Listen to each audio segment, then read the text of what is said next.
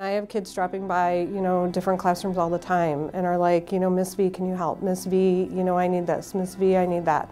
And so it's just about making that connection. It's the most rewarding thing that you will do. It's the most challenging thing that you will do. There are kids who want help and need help and they don't know how to ask for it. And breaking down those kind of walls and the barriers that they have put up from whatever that they have, you know, gone through can be tough and sometimes you, know, you don't get there. So it can be rewarding, but it can be challenging and frustrating. We're lucky because we get to see all four years. The goal of high school is to graduate and to, to move on to whatever is you know next, whether it be college or jobs. That graduation day and knowing that you had a hand in that student's success and that student's graduation makes it all 100% worth it.